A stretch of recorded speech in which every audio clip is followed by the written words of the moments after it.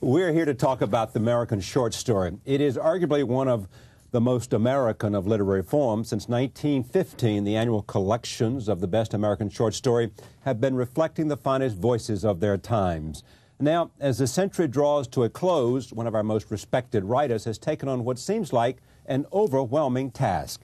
He is selecting the best of the best. In this collection, the best American short stories of the century, Updike, and co-editor Katrina Kenison have chosen 55 stories that represent the changing patterns of our country. Joining me now, Updike, of course, is John Updike, and I am pleased to have him here once again on this broadcast. Welcome, sir. Thank you. Uh, now, wow. you know, you're always learning something new about the people who come on your program. The thing that I did not know, we've done maybe 10, 15 interviews together, perhaps, is that you attended the Ruskin School of Drawing and Fine Art at Oxford years 1954 and 55. Mr. Updike did not want to be a novelist. Novelist. He wanted to be a artist. I drew as a kid, like many kids, and thought I wanted to be a cartoonist. I wanted to work for Walt Disney. I wanted to then I, my ambition advanced to wanting to be a New Yorker cartoonist.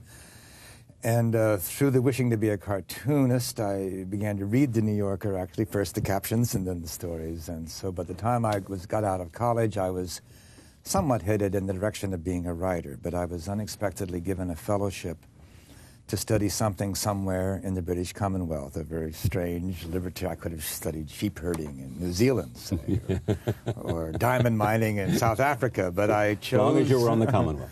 I chose to uh, study uh, drawing, fine art, art in the in Britain, Great Britain, and uh, the Slade would not admit me. This was all in April, so it was running out of time. But the Ruskin School took me in. The Ruskin School was a somewhat quaint institution, housed in a wing of the Ashmolean Museum. A very conservative, taught you how to paint, and this was in the heyday of abstract expressionism and all the. It also was one of the schools on the Korean War GI Bill, so I was not the only American there. There were maybe a third Americans, most of whom were dying to bust out and be Jackson Pollock. Instead, our teacher was trying to make us be Cezanne, these careful little parallel strokes. So I did study, uh, study drawing and painting, and I'm the better man for it. But even by that point, it was just basically a way of giving my artistic side a kind of one last run around the park. I was writing, I was even being published. I wrote a couple short stories that year that the New Yorker took. Do you think so. there's a connection between drawing and being able to write? I think Conrad wrote about the writer makes us see, see in italics. So I think there is something, many writers have it with varying degrees. A writer like Thurber or James Joyce, who became blind, perhaps teaches more to hear than to see. But a writer like Conrad, there's a great visual component, you know, and I think the ability to visualize mm. is one of the tools it's good to have. What's the significance of the short story in the American literary? Well, I think it is one of our things we do best, beginning with old Edgar Allan Poe and Henry James uh, and uh, Mark Twain, uh, maybe because we're a nervous nation on the move, and the short story uh, can be absorbed in a fairly quick time and also can record a fairly short segment of experience. It doesn't need the scope of a novel, doesn't ask the time, so that by and large, uh, and then in this century, you have Heming, Hemingway, uh, I think above all, but a number of very powerful and good short story writers who really were at their best in the short story. So there's something about American energy yeah. that I think, an American experience that I think gets into the short story. And today, in the year 1999, uh, are short stories strong? Are they being read? Are they being published?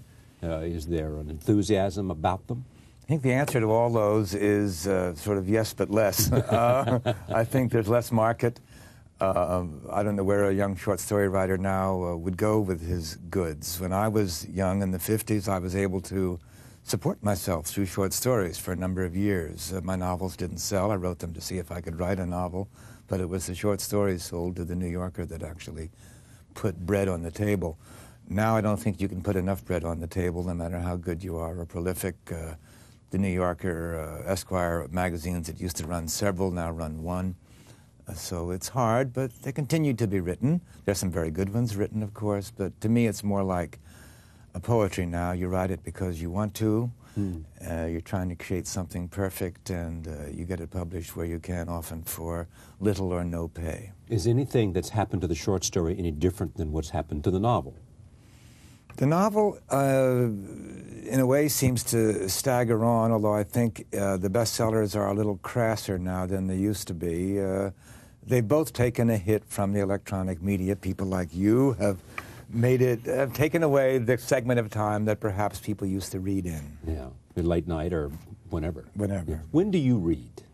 I don't read often enough, but when I do read, it's generally uh, in, in the evening, yeah, after, after dinner. dinner. I've never been an afternoon reader. I know I should be because it's a long stretch, and if I have a, a, book I'm reading for a literary work of my own, yes, I can read it during work hours. But Yeah. generally, if I'm not writing, I tend to work in the yard or play golf or something else. I do Uh, too. I mean, it's exactly the same thing. I mean, I read a lot as part of the job that I Sure. have and the craft that I practice, but I don't read during the day on the weekends. You know, Right. it's always you're outdoors and you're doing something that's much more physical. Probably better for the total person to do something physical outdoors, but it is true that then in the evening, uh, by the time you get done with dinner and uh, whatnot, you, A couple don't glasses of wine, you tend to be getting a little drowsy. So that yes, uh, I'm afraid that even though I'm in the game, as it were, I don't read as much as uh, I should, uh, and there's a tendency to fall behind, both both in magazines and contemporary books. Now, tell me before I start talking about the criteria for the selection. Now, what did you do and what did Katrina Kenison do? She read all all uh, 80 odd, 84 previous volumes of Best American Short Stories of the Year, beginning in 1915. Uh, so she read somewhere over 2,000 stories total. She presented me with a tenth of those, about 200.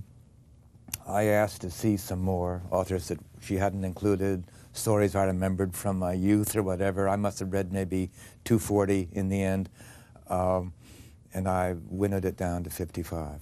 But you could not include anything that was not on that list of Right, before, right. so that's the reason for the omission of Thurber.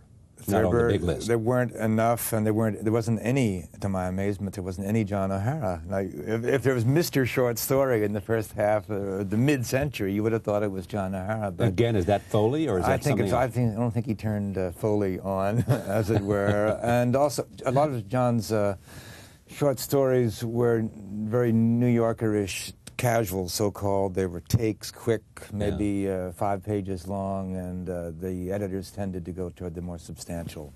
Should we look at these as representative of American short stories or the best of American short stories? They're, I think, a selection uh, that I'm by no means uh, ashamed of. The best is a somewhat subjective term, whether it's used in any connection at all. Uh, this certainly is the best of the best, as far as I'm concerned. These were the best that Miss Kenison and I were able to come The up best. with out of the best that had been chosen by the preceding editors. Uh, you know, it's not entirely bad. It's, it's in some sense, it's li- li- limiting. Yes, where's John O'Hara? Where's Mary McCarthy? No, Mary McCarthy. On the other hand, they, over the years, they did include various obscure writers now forgotten, and some of them wrote wonderful stories that I was able to include in this. So, in a way, this brought up some little fish who are worth, And, worth some of eating. them, some of them wrote some short stories that were rather well written and didn't write much after that. Some were rather had brief careers, some had long careers, but have fallen into the great mulch of forgotten writers. And there's also this: it is not always the story, short story, that they're best thought of. Fitzgerald, for example. Fitzgerald, he's generally in anthologies for something called B- Babylon Revisited, and uh, it, it was offered. It didn't make a best, and I really preferred the Hollywood story that I chose. I just thought it was better. I, I didn't go out of my way to include out-of-the-way stories by the old masters. You have Hemingway's The Killers, which is much anthologized, and Faulkner's uh, That Evening Sun Go Down, which is sort of the Faulkner chestnut in the anthologies. But I didn't see I should leave it out because this may be the only such anthology the, uh, the reader ever reads, you know, and why exclude the best? So I tried to go for Make sure that somebody that was the best that American letters had seen in the century was represented here if they wrote short stories. Right, right. It was within the parameters of the previous editors. I, Right. try, I chose the best I could. Uh, and I wouldn't have undertaken the assignment, frankly, if I was just told to make an anthology of the best American short stories of the century. I don't have that kind of time. This took time enough, thank you. Uh, to do that right, you'd have to read and read, wouldn't you? Yes. Read all of O. Henry, read all of Faulkner's Well, short so stories. Kenison must have had spent a lot of time reading. Kenison is a good reader. I hope she's a fast reader. She's because she does a lot of work. Yeah. One of the things, we're going to go through this de- decade by decade, but one of the surprising things that comes out of here, there is no great collection of short stories that came out of World War II.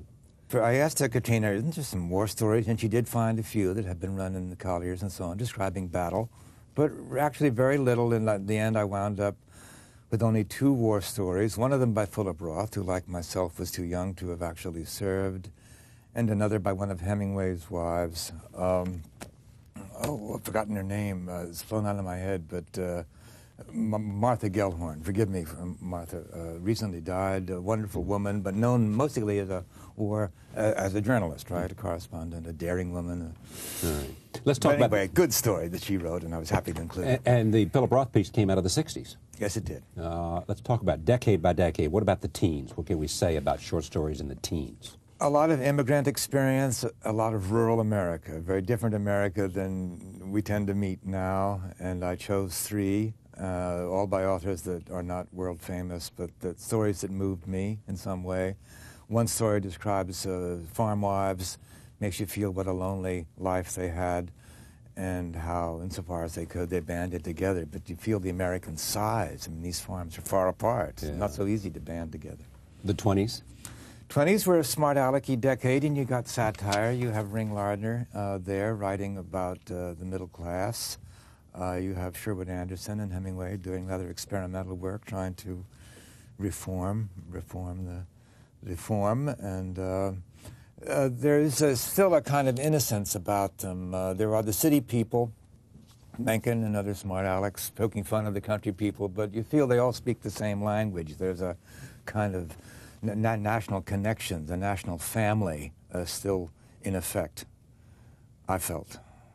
Uh, 40s we talked about with the war. 30s, you could 30s just say that there was a depression going on, although yeah. not every story reflects the depression, just like not every movie made in the 30s reflects the depression. A lot of them were kind of happy stories, but you did you do get a, a basically more sober, sober tone and less uh, satire. Uh, I think Saroyan, Saroyan's story came out of the 30s, and there's a wonderfully exuberant kind of riff that only he could have done. And then the 50s.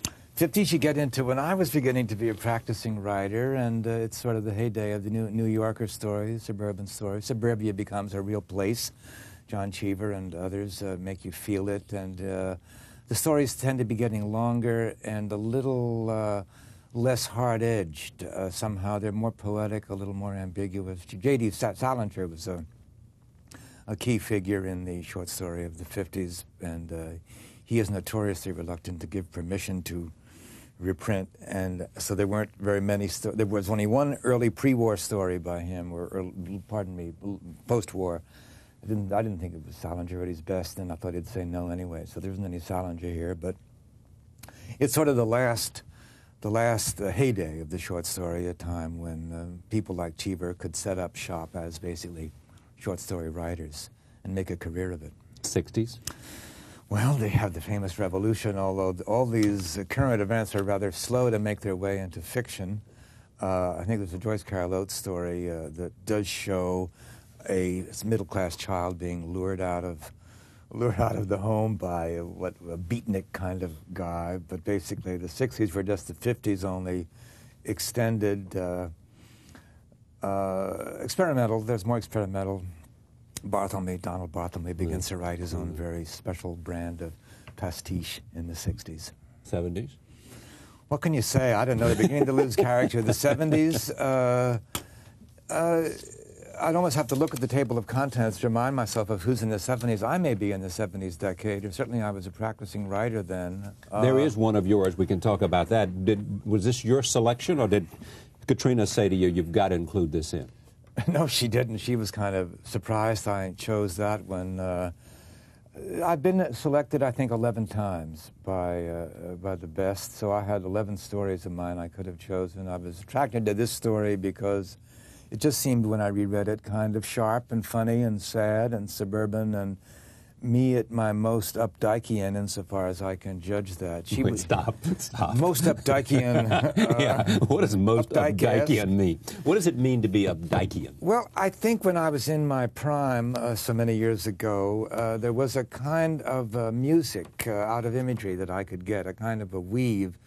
This particular story deals with a couple, married couple, breaking up and it's about gestures, but it also is about the guy moves to Boston. He looks out at the skyscraper, which is shedding its glass. There was in Boston at the time.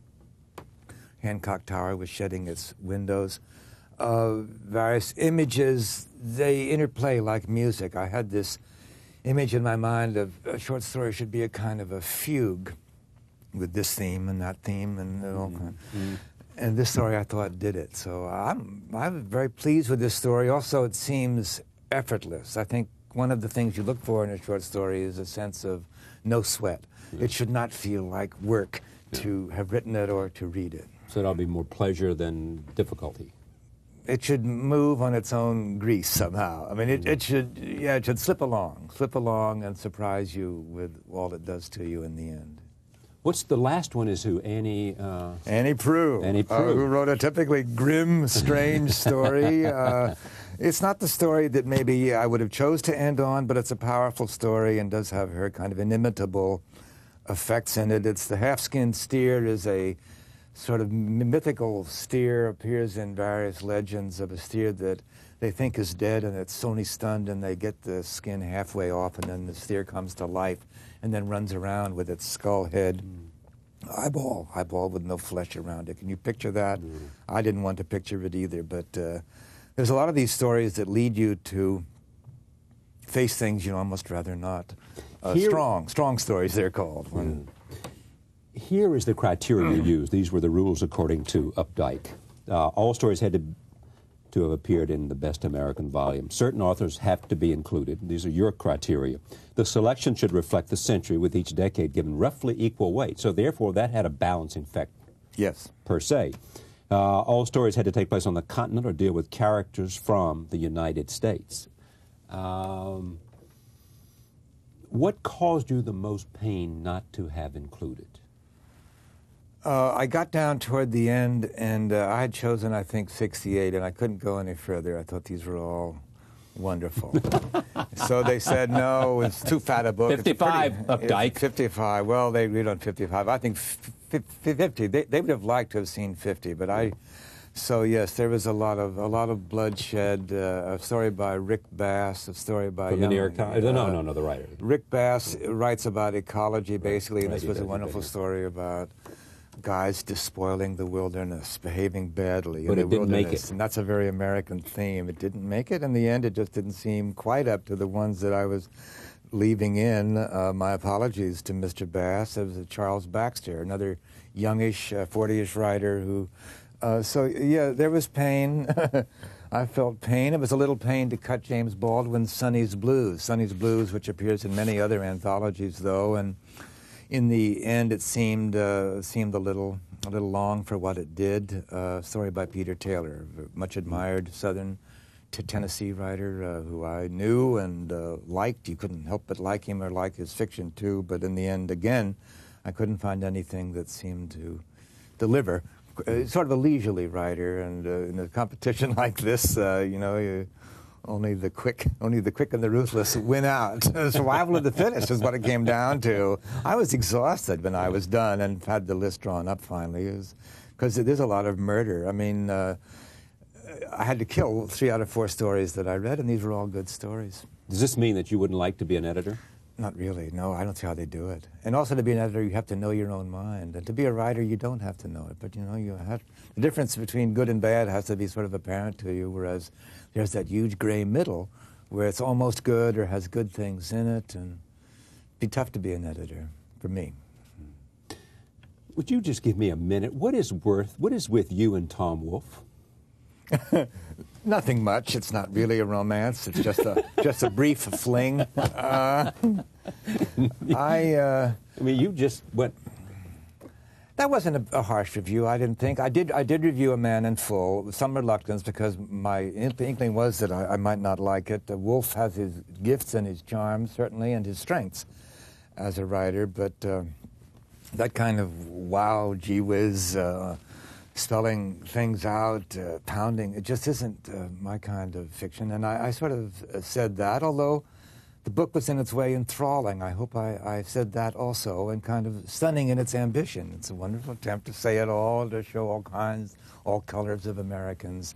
existing in one city, Atlanta, uh, together. But in the end, uh, yes, I, I had to say a few adverse you things. said more entertainment than literature, I think is what you I did suggested. feel that. I was trying. I was groping for something that was I felt grievously lacking in the whole Woolfian aesthetic. Yes, and maybe that's a bogus distinction. After all, a lot of yesterday's entertainment becomes today's literature. Dickens was thought to be a fairly coarse number in his day. He day. was entertainment in his day. Yes, as Tom Wolfe would point out. Uh, so I may be wrong, but uh, a reviewer, you have to say what you felt. I did as honestly and sweetly as I could, and uh, the book's uh, great success, of course, brought my review into some attention, and the fact that Norman Mailer wrote a longer consideration coming down sort of about where mine did.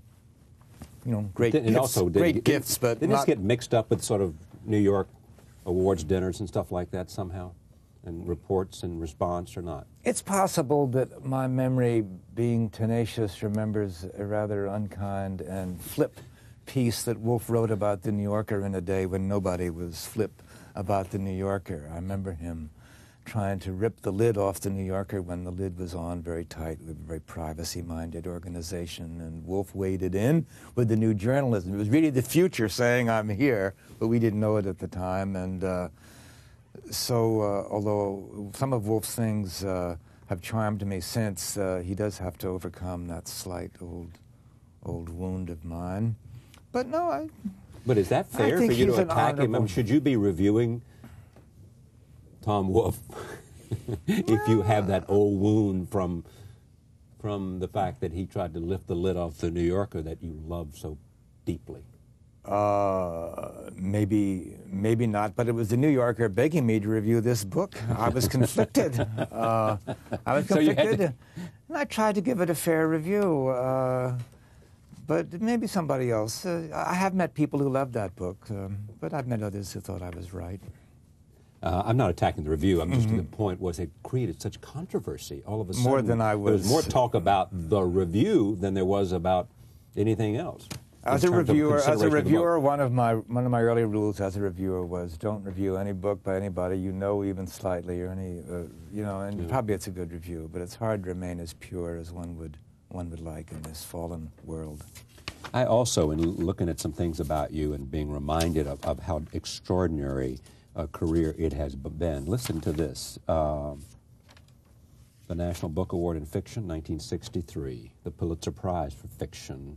American Book Award and National Book Critics Circle Award for Fiction in 1982, all for Rabbit is Rich. National Book Critics Circle Award for Criticism, 1984, for Hugging the Shore, Essays and Criticism. National Book Critics Circle Award in Fiction nomination, 1986, for Roger's Version. Uh, it's been an extraordinary life. With uh, Rabbit has been very good to you, though. We'll say that. Right. If you take rabbit away, I hardly won a thing. I mean, if you look at that list, uh, it's rabbit, not me, that they like. Uh, oh, hardly, sir. I think so. the I'm best American, the best American short stories of the century. John Updike has waded in and taken a look at all those lists, going back to the teens in this century, and selected those and the criteria uh, that was he thought appropriate, and put them together in this book. Uh, it reminds us how great short stories are and how much they're a part of the American experience. My thanks to John Updike. Back in a moment.